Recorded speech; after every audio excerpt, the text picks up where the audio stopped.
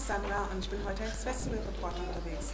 Heute vom Lichtspiele-Festival. Ich werde nämlich von dem dritten Lichtspiele-Festival berichten, welches heute im City Kino stattfindet. Viele Leute werden sich hier versammeln, auch die Jury und auch die Filmemacher. Hallo erstmal. Du hast ja einen Film eingereicht. Ähm, erzähl mir doch mal was über den Film und stell dich doch erstmal vor. Also ich bin äh, Ben Spangenberg und mein Film äh, hieß Mein Lieblingsort, das Tempelhofer Feld. Und den habe ich für mein Praktikum bei Alex bekommen, mhm. äh, vor ungefähr mehr als einem halben Jahr.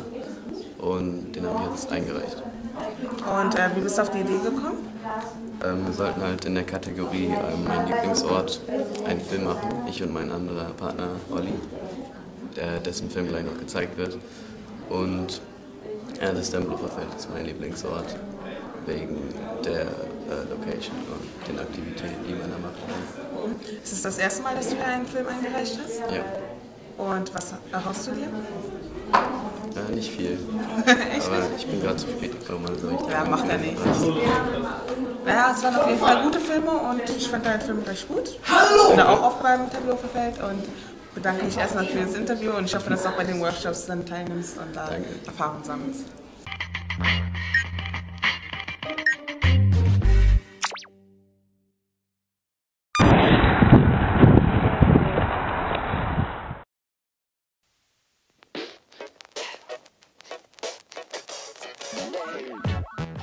Auf dem Tempelhofer Feld im Süden Berlins, in den Stadtteilen Neukölln und Tempelhof, verbringe ich viel Zeit mit Freunden oder auch alleine, um der Hektik der Großstadt zu entkommen. Es ist ein ruhiger und idealer Ort, wenn man Platz und Abwechslung braucht. Das Feld wurde viele Jahrhunderte als Ackerfläche benutzt. 1922 wurde es zum Flugfeld umgebaut. Nach dem Ende des Zweiten Weltkriegs während der Berliner Blockade bekam der Flughafen Tempelhof seine besondere Bedeutung als die Versorgungsflugzeuge im 90-Sekunden-Takt landeten und starteten. Ab 1985 ging der Flugverkehr wieder weiter, nachdem er zwischenzeitlich eingestellt worden war. 2008, als mit dem Bau des Flughafens BER begonnen wurde, wurde der Flugverkehr in Tempelhof endgültig eingestellt. Danach entstand auf der Fläche Berlins größter Stadtpark, das Tempelhofer Feld. Das Feld ist 355 Hektar groß und ideal für viele Sportarten. Beliebt sind Skate- und Longboarden, Kiteboarden, Inlinerfahren, Drachensteigen und viele andere Aktivitäten.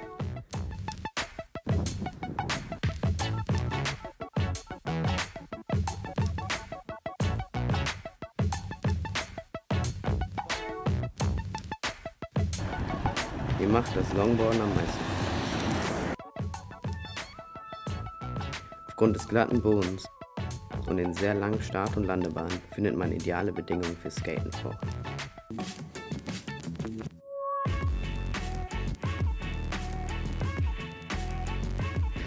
Ich finde die Landebahn auch perfekt für Aufnahmen mit Actionkameras, um coole Shots zu machen.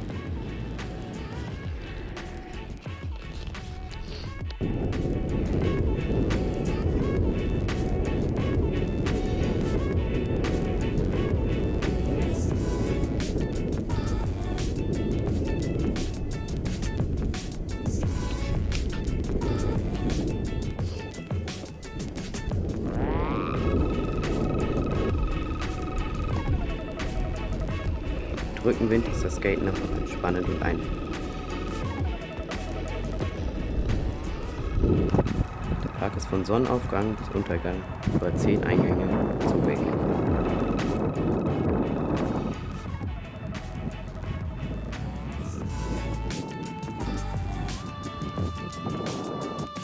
Deshalb ist das mein Lieblingsort.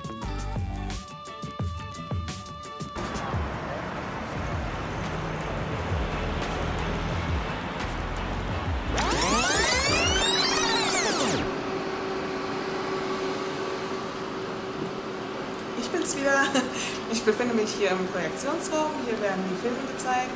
Und ja, ich hätte jetzt noch nebenan jemanden, der unter Stress war und mir jetzt erzählen wird, was er hier genau macht.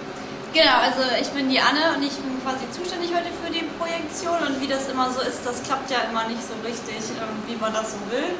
Ähm, aber wir hoffen doch jetzt, es läuft alles. Und ähm, genau, das ist, ich mache auch die Kinoprojektion. Wir haben auch ein also professionelle sozusagen Kinoprogrammierung hier und ähm, da benutzen wir einen Digitalprojektor. Das ist so ein richtig großes Teil, wie man sieht. Ähm, der äh, für die professionelle Kinoprojektion äh, benutzt wird.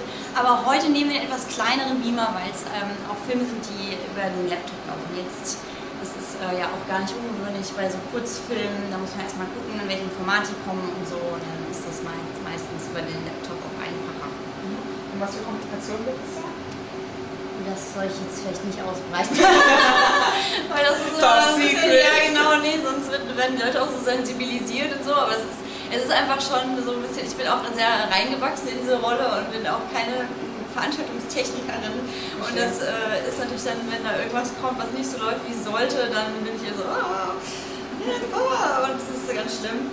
Aber es hatte mit dem Ton zu tun. Also tatsächlich haben wir bis vor einer Stunde irgendwie den Ton nicht äh, in den Saal bekommen. Das heißt, die Filme liefen ohne Ton und jetzt ist der Ton zumindest da.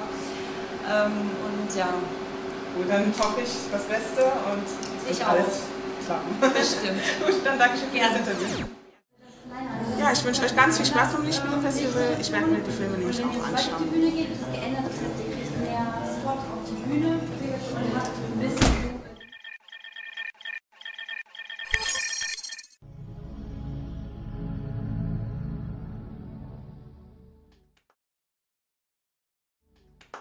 Guten Abend, liebe Zuschauer draußen an den Empfangsgeräten und herzlich willkommen zu einer neuen Ausgabe von Filmphilosophie gestern, heute, morgen.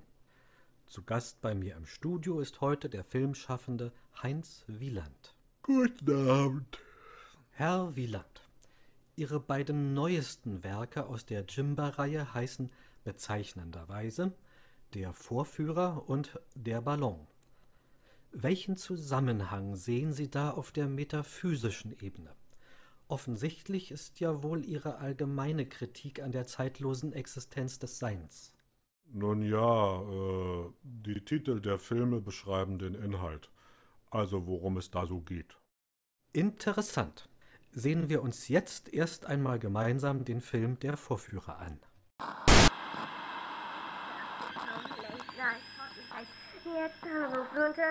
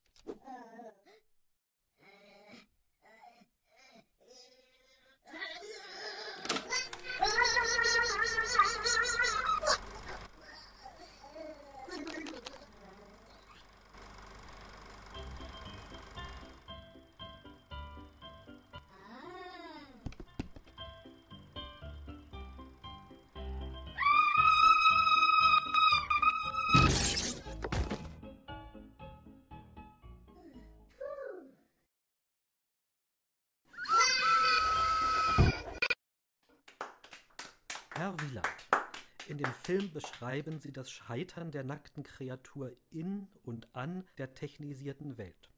Sehen Sie dies vor allem als Forderung nach einer Rückbesinnung auf die Werte Herders und Klopstocks? Ich mache eigentlich Filme für Kinder. Wie bitte? Kinderfilme. Filme für Kinder. Ja, äh, gut. Aber das Motiv der Dampfeisenbahn in unserer digitalisierten Zeit ist doch eigentlich. Ich hatte als Kind auch eine kleine Dampflok. Hm. Und mit der Verknüpfung der filmischen Ebenen wollen Sie nicht auf die Dysfunktion spätkapitalistischer Gesellschaften hinweisen? Dafür interessieren sich Kinder nicht. Fein. Kommen wir nun zu Ihrem zweiten Werk, Der Ballon. Film ab.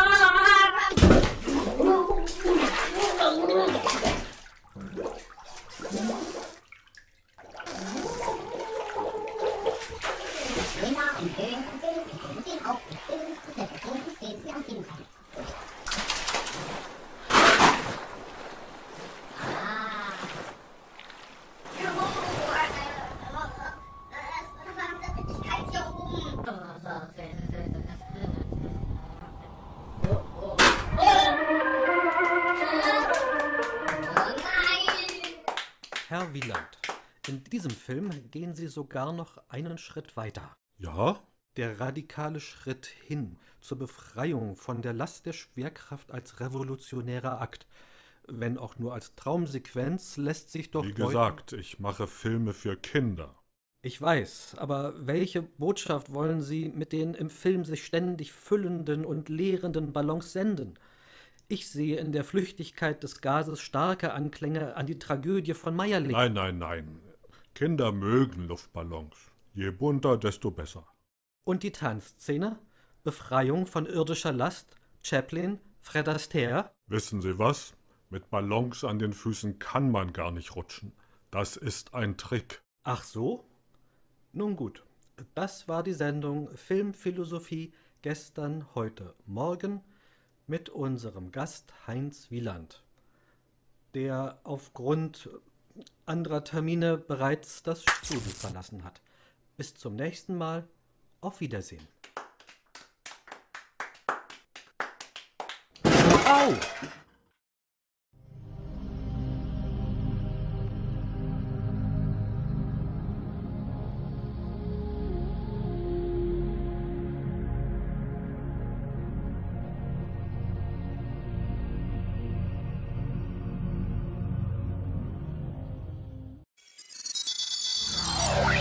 Stehe neben einer der Filmemacher, die hier einen Film eingereicht haben. Stell dich doch erstmal vor und auch den Film, den du vorgestellt hast. Ich bin Valentin Wojtaschkiewicz und ich bin 14 Jahre alt. Ich habe den Film Filmphilosophie eingereicht. Der handelt von einem Regisseur, der zwei Kinderfilme gedreht hat und darüber im Fernsehen interviewt wird und lauter Fragen gestellt bekommt, die er nicht beantworten kann, weil sie nicht auf seinen Film zu treffen. Mhm. Und wie bist du auf das Thema gekommen?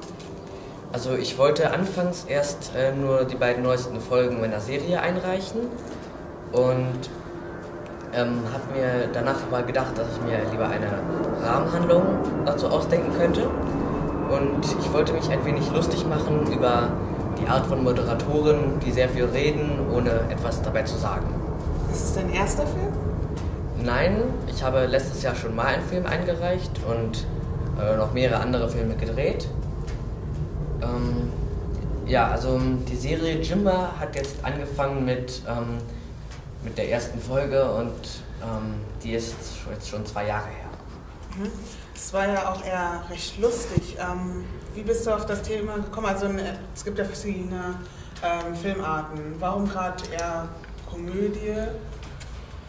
Ähm, ich wollte anfangs ein wirklich tiefgründiges Thema ähm, ansteuern, aber habe mich danach dann doch anders überlegt, weil der, die, die Serie Jimba ja auch an Kinder gerichtet ist und dann wollte ich den Film auch einigermaßen unterhaltsam für die Kinder machen. Mhm. Und was erhoffst du dir von dem heutigen Tag? Ähm, ich hoffe mir jetzt nicht einen Preis zu gewinnen oder so, ich hoffe mir einfach nur ähm, neue Menschen kennenzulernen und dass mich auch neue Menschen kennenlernen, ja. Würdest du es anderen empfehlen, hier beim Lichtspielefestival nächstes Mal dabei zu sein?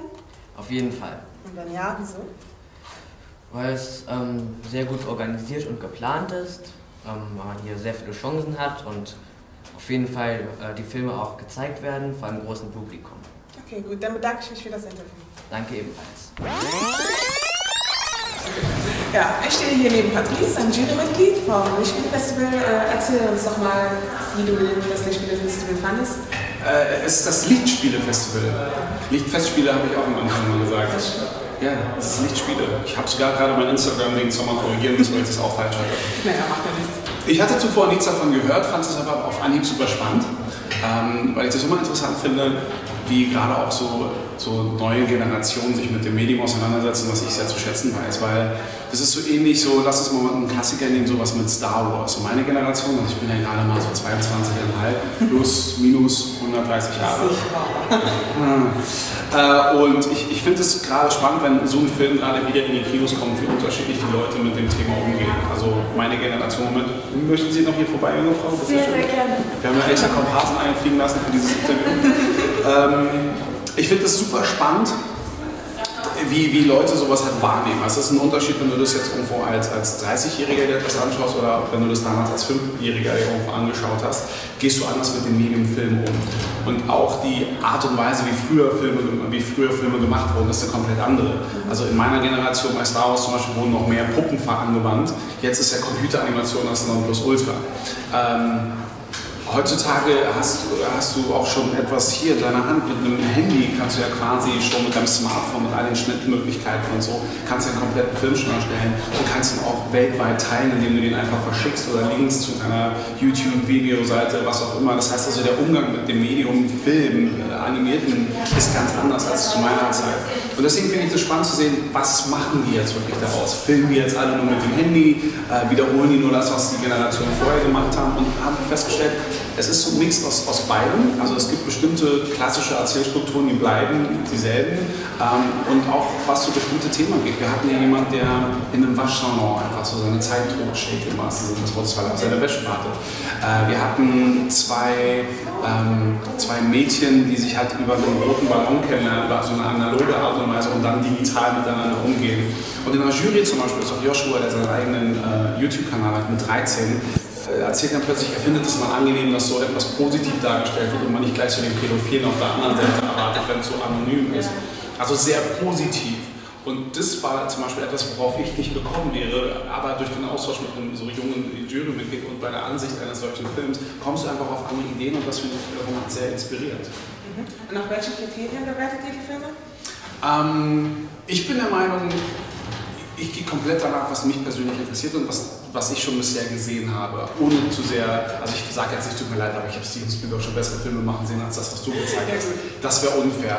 Aber ich frage mich dann immer in Anbetracht der Tatsache, zu wissen, wie schwer sowas auch zusammenzustellen ist. Ähm, was versuchen Sie? Spricht es mich an? Und wenn es mich nicht anspricht, dann versuche ich es aber auch wenigstens konstruktiv auch so zu, zu erklären, weil ich glaube, das hilft ja auch den Filmschaffenden, die sich ja auch hier dadurch ähm, weiterbilden können, weil sie dann auch mal sehen, wie wirkt denn das, was ich hier produziert habe, auf ein anderes Publikum, was nicht Mama und Papa heißt, die eh mal alles toll finden, was ich tue, sondern auch einfach sagen, das hat mich jetzt nicht interessiert. Ich glaube, der rege Austausch ist gut. Und von daher richte ich mich nicht, was die anderen Jurymitglieder sagen, sondern das, was ich selber sage.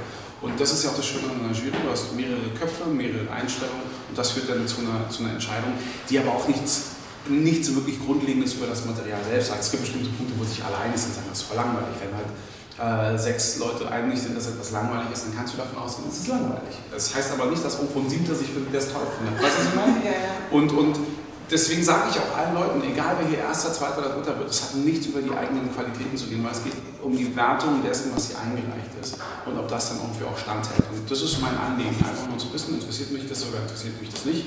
Und wenn Bedarf ist, ich zwinge es den Leuten nicht auf, können sie sich mit mir darüber dann im Nachhinein unterhalten. Und was erhoffst du dir vom Spielefestival?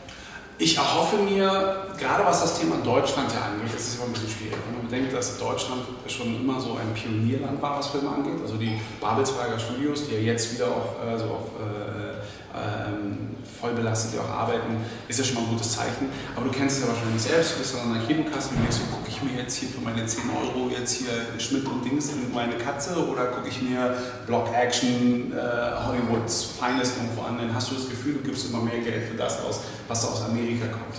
Ähm, was zum Teil vielleicht berechtigt ist, weil du würdest an dem Abend unterhalten werden und dann möchtest du mir jetzt noch hier, habt ihr noch Almosen, deutscher Film, kommt mal klar.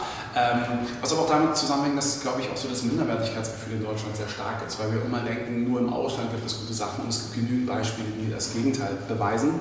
Und das machst du durch so eine äh, Events halt auch irgendwo möglich, dass Leute auch selbstbewusst werden, auch daran aufbauen können, was bedeutet es, einen Film zu machen. Sie werden später eh jede Menge Vollidioten, gerade in der Filmindustrie erleben. Aber die neuen Möglichkeiten ähm, sind ja da, dass sie nicht über Mittelsmänner gehen müssen, sondern einfach auch, wenn es einfach nur um die Präsentation geht, äh, klassische YouTube- oder Vimeo-Kanäle nehmen können Und das, glaube ich, macht mir Hoffnung, dass es auch sehr viel Talent gibt, was auch hier in meiner Heimatstadt Berlin und auch Deutschland insgesamt dann auch geschehen kann. Ja, du klingst ja recht begeistert von dem Festival. Warum würdest du es anderen Leuten empfehlen, hier auch mal vorbeizukommen und sich das anzuschauen? Ich glaube, und jetzt wird es ein bisschen politisch-philosophisch, ähm, ich bin ein überzeugter Demokrat. Das heißt also, eine Demokratie funktioniert nur insofern die Leute auch selbst daran teilnehmen und sei es jetzt nur ein Kreuzchen zu machen oder eben, ähm, das kannst du halt bei, bei anderen Gütern, viele Leute sagen, ja, wir können ja eh nichts machen gegen die Leute da oben. Na klar, durch dein Konsumverhalten kannst du das tun. Also wenn du zum Beispiel etwas unterstützen möchtest, dann lädst du dir nicht illegal im Netz, sondern gibst auch viel Geld für und gibst, setzt dafür ein Zeichen, das ist mir mein Geld wert. Und das Gleiche ist dann hier bei so einem Event. Ich glaube, jeder, der so ein bisschen so viel mag und dann irgendwie auch herkommt, also alleine mit seiner Anwesenheit und seiner Aufmerksamkeit, weil Zeit ist ein hohes Gut, gerade in meinem Alter weiß er, mag weiß das zu schätzen, dass man sich doch so sich das anschauen kann. Und ich finde es gut, dass dieser Verein hier ähm, sich dafür halt stark macht, sich austauscht mit den Leuten. Und das sind, wie gesagt, vielleicht demnächst unsere Starregisseure, die irgendwo, noch nicht mal in Hollywood, vielleicht auch in Indien oder in Südafrika Filme irgendwo drehen, weil die Möglichkeiten sind in der Zukunft schier unendlich. Und äh, deswegen finde ich sowas toll, finde es sehr unterstützenswert. Und ich dachte natürlich, das wird über den ganzen Tag, ich werde nur scheiß Beiträge zu sehen bekommen, mal einen guten. Aber in der Summe war das total super. Und ich mag auch so diese Diskussion mit der Jury, auch gerade wo, ja, ich habe mal eine ganz andere Meinung, ohne dass man sich die Köpfe ja. ähm, Wenn du jetzt das Lichtspiele-Festival in drei Worten beschreiben würdest, wie würdest du das Wichtig, jung und erwähnenswert. Gut, danke schön erstmal fürs Interview. Gut, gerne.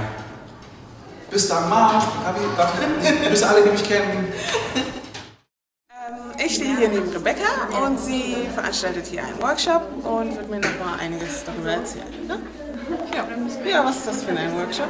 Was ist für ein Workshop? Das ist ein Workshop für ähm, die Kinder, die gerade ihre Filme gezeigt haben beim Lichtspieler Jugend Filmfestival 2015.